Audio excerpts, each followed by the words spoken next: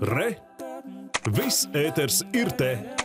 Rīgas Svētā Pētera baznīcā 23. starptautiskajā garīgas mūzikas festivālā izskanēs četru Latvijas komponistu darbu pasaules pirmatskaņojumu. Festivāla mākslinieckais vadītājs Māris Cirmais turpina tradīciju un jaundarbus komponistiem pasūta īpaši un tos iestudē kopā ar savu valsts akadēmisko kori Latvija. Covid laika ierobežojumi iezīmēs arī, iezīmēsies arī kori sastāvā. Kolektīvs sadalīts uz pusēm un katra grupa atskaņos divus skaņdarbus. Un plašāk stāsta mūsu kolēģi Ilsa Stranga.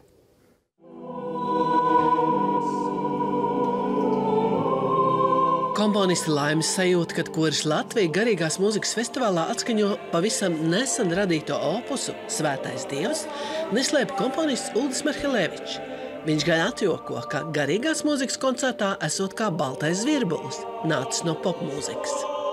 Nu, tas ir mūžīgs process. Tu varētu tajā visā ieguldīt visu savu darbību. Nu, ar to ienodarbojas regulāri. Es uzskatu, tas.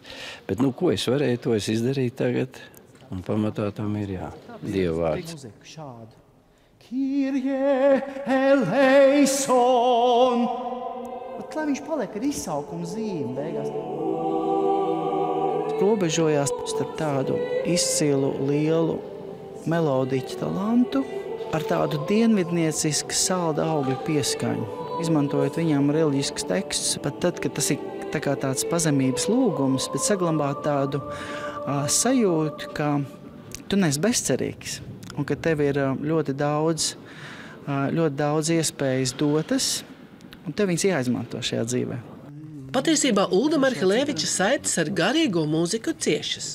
Viņš tēvam, baznīcas ērģelniekam, vienmēr bijis līdzās Latvijas baznīcās, īpaši Latgalē, Skaistā un dzimtajā Pāvilostā. Un kora mūzikas opus Svētais Dievs latīņu teksts par cilvēku aizvēnu Dievu paspārnē ir tūs visu dzīvi. Tajos laikos man bija kaut kas tāds, nu varētu teikt, nereāls, jo, ja tev ir pioniera klautiņš apsiets un tu ieeji pie mācītāja telpā un tur ir vīraks un visa tā noskaņa, kaut kas tomēr tajā visā bija tāds, kas to sirdi laikam aizskāra. Jaundarbus garīgās mūzikas festivālam rakstījuši arī saksofonists Artis Gāga, džedza mūziķis Alvils Altmanis un ērģelniece un komponiste Renāta Stīvriņa.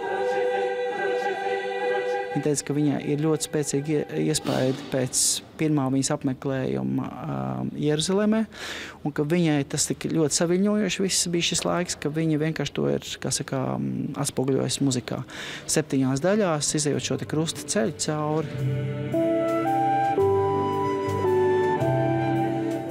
Pirmā reize mums ir sadarbība ar um, Alvu Altmanu.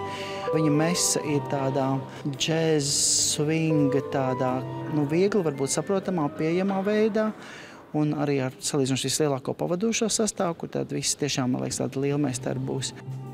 Neparastāku, bet pilnīgāku skanējumu radīs kori izkārtojums Svētā Pētera baznīcā. Mūziķi atradīsies pie ieejas dievnamā ar skatu uz altāri. Četri pasaules pirmatskaņojumi 23. starptautiskajā garīgās mūzikas festivālā izskanēs šovakar Svētā Pētera baznīcā. Ilza Strenga, Pēters Barkevičs, Latvijas televīzija.